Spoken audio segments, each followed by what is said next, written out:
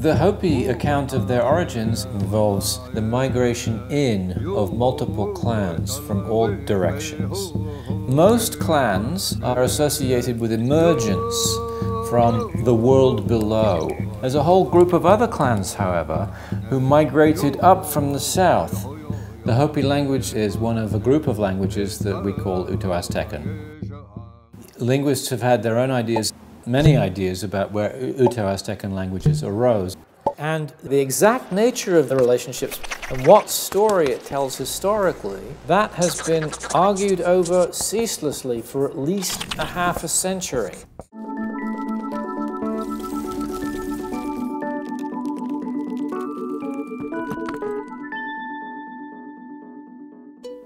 My name is Peter Whiteley, and I'm the curator of North American Ethnology. My name is Ward Wheeler.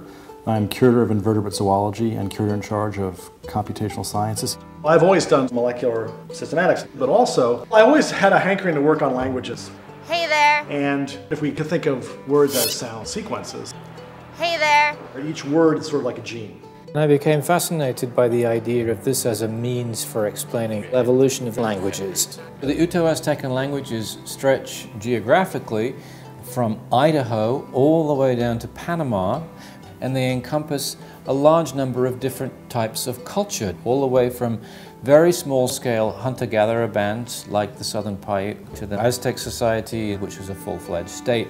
There have been multiple hypotheses about where Uto-Aztecan languages originate. There are some in recent years that have suggested a southern origin and that's what we generally refer to as the farmer hypothesis. Languages originated in an area close to the origins of the domestication of maize, beans, and squash, and then radiated out from that. Surely, if it's to be knowledge that we would classify as scientific, there has to be a way of testing that.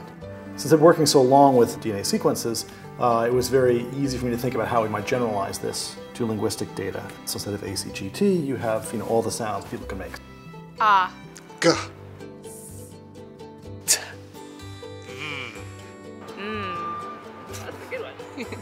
so in the same way that we would look at variations in DNA sequences when we're going to build a tree of organisms, we would look at variations in the sound sequences to build a tree of languages. We took the existing algorithms that we had developed for DNA sequence analysis and were able to generalize them so that we could then use them for sound sequences, words. In the same way that we need to use homologous genes when we compare organisms, so we want to compare apples to apples, uh, we want to use homologous words also. And the set of homologous words we use is called the Swadesh list.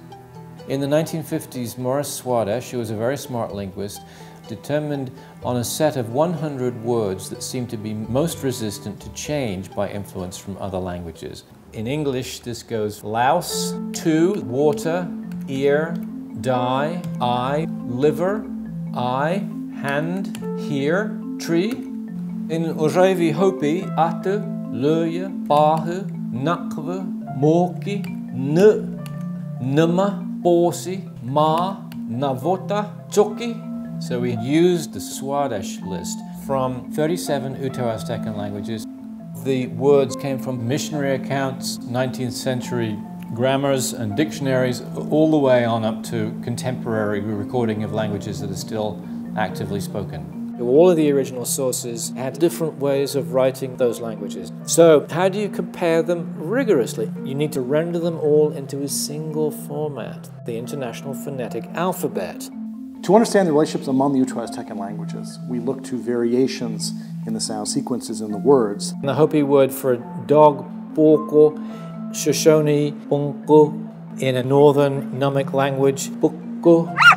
And from that variation, we can reconstruct evolutionary trees of the languages themselves. We have to assign values to transformations between different sorts of sounds. So what is the cost of editing one word into another?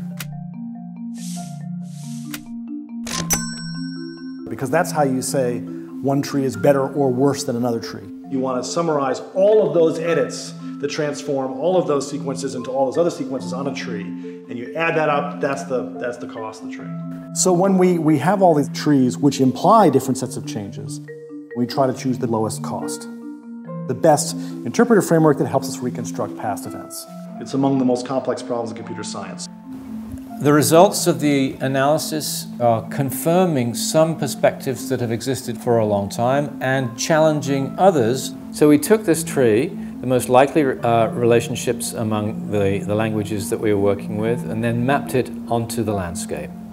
It does tend to support the hypothesis for a southern origin. We know that things were happening first in the south, and then things were happening secondly in the north. And so that meant there had to be a linguistic migration moving north. Plus, we developed a technique to analyze languages in a way that we feel is more objective, and that's a cool thing too.